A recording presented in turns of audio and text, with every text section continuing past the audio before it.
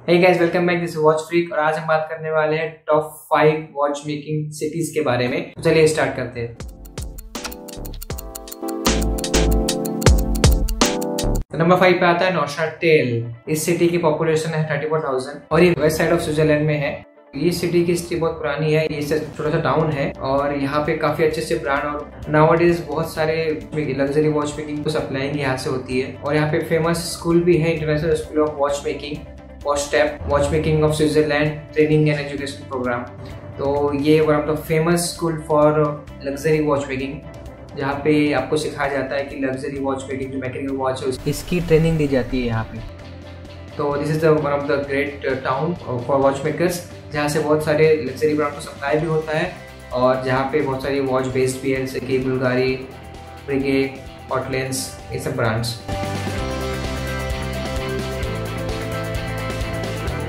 Number चार पे है जर्मनी की ग्लेशोटे सिटी इसके बारे में तो आज बहुत लोग जानते होंगे बिकॉज़ 90 परसेंट जर्मनी की जो लग्जरी वॉच आती है, वो इसी सिटी से आती है। Population of this city seven thousand only और यहाँ पे बहुत सारे ब्रांड्स है। ये बहुत ही खूबसूरत सा छोटा सा विलेज है, जो वॉच मेकिंग के लिए ही फ़ेमस है। और 1845 में यहाँ पे पहला वॉच ब्रांड स्टैब्लिश हुआ था, जैसे एलान शोने जो आज भी बहुत अच्छी अच्छी luxury brand one of the great brand जो जर्मनी को रिप्रेजेंट जर्मनी की क्वालिटी और जर्मनी की वॉच मेकिंग स्किल को रिप्रेजेंट करती है वर्ल्ड में। और यहाँ पे जो मेन वर्क है वो वॉच मेकिंग का है बिकॉज़ ग्लैशुड से बहुत सारे ब्रांड बिलोंग करते हैं। जैसे कि A Lange Sohne Glashutte original डोमोस Bruno Sohnle G F Wolf Tutima Moritz Grossmann Union Glashutte नए ब्रांड जो है, सब धीरे धीरे धीरे स्टैब्लिश हुए इस सिटी में। जो पहला ब्रांड था वो सोने था और वर्ल्ड वॉर टू में जब रशियन इस जगह घुस गए थे और उन्होंने यहाँ पे काफ़ी ज़्यादा नुकसान किया था इस सिटी का और वॉच फैक्ट्रीज और जो वॉच कंपनी की उनके सारी इक्विपमेंट तोड़ दिया था और था जिससे इनके बहुत टाइम लगा रिपेयर होने के लिए। यहाँ पे एक फ़ेमस म्यूज़ियम भी है जर्मन वॉच म्यूज़ियम नंबर तीन पे आती है स्विट्जरलैंड की ही वेस्ट साइड की सिटी, ये लॉकले तो इस सिटी की पॉपुलेशन सिर्फ़ टेन थाउज़ेंड है और ये हेरिटेज साइट में आती है यूनेस्को के। फ़र्स्ट जो ब्रांड है जो यहाँ पे इस्टेब्लिश होता है वो सेवनटीन टेन में हुआ था जिन रिचर्ड और एच मोजर शायद Zenith one of the famous brand of Le Locle जो यहाँ पे बेस्ड है। इसके अलावा टिसॉट जिनित उल्शन वुल्कैन मोब्ले यूनिवर्सल और रोलेक्स के भी यहाँ पे मैन्युफैक्चरिंग फैक्ट्री है। इसके अलावा एक सिटी बहुत खूबसूरत है। और यहाँ पे एक वॉच म्यूज़ियम भी है।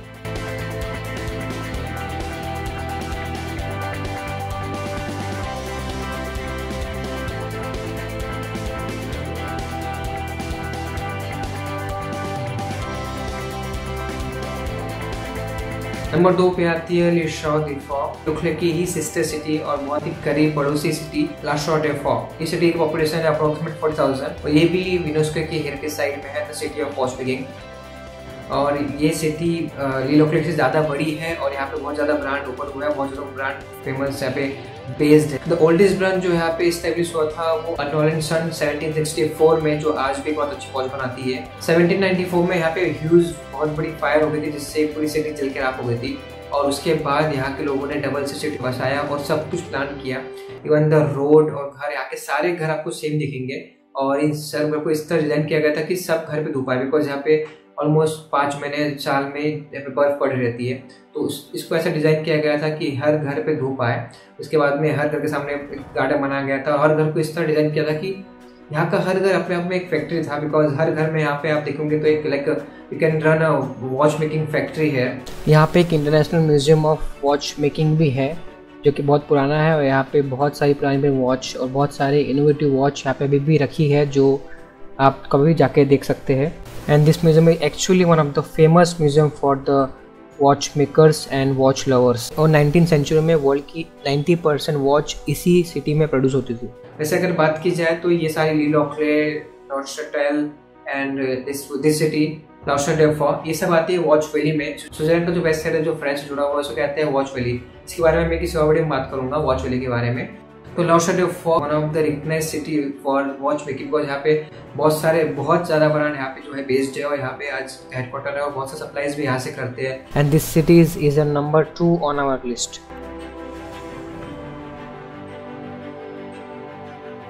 अब आते हैं नंबर वन पे। Number one is obviously the Geneva the haven of the watch makers and watch lovers Geneva is the second largest city of Switzerland after Zurich with population about two lakh यहाँ पे UN का भी headquarter है।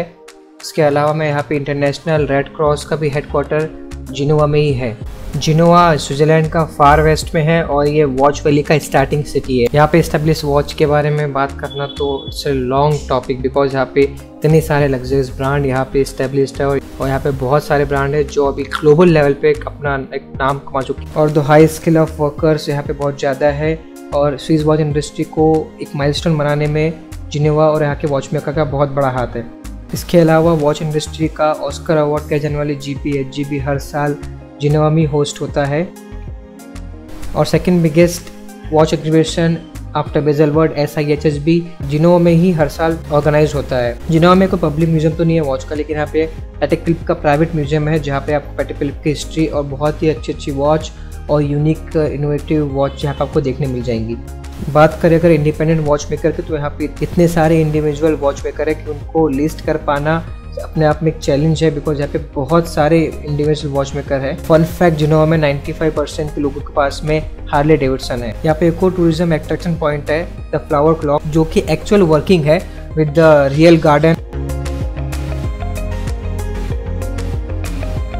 ये ऐसे पास city जहाँ पे मैं तो ऑब्वियसली जाना चाहता हूँ because this have the huge history of the watch making बहुत सारे इन्वेस्टर इन पास सिटी में हुए बड़े बड़े वॉच मेकर्स और बड़े बड़े वॉच ब्रांड भी इसी तरह स्टेब्लिश हुए हुए हैं इसके अलावा और भी बहुत सारी सिटीज़ है वॉच वैली की, जहाँ पे बहुत अच्छे अच्छे ब्रांड और बहुत अच्छे अच्छे फ़ेमस वॉच मेकर बॉर्न हुए हैं। इसके बारे में हम अलग से वॉच वैली वीडियो में डिस्कस करेंगे। तो that's all this is the five city of watch maker और this city is famous for watch making and history for watch making तो thank you for guys watching this video अगर video अच्छा लगा तो please like करिए, channel पर नया है और वॉच के बारे में देखना चाहते हैं तो प्लीज़ सब्सक्राइब करिए। तो मिलते हैं नेक्स्ट वीडियो में।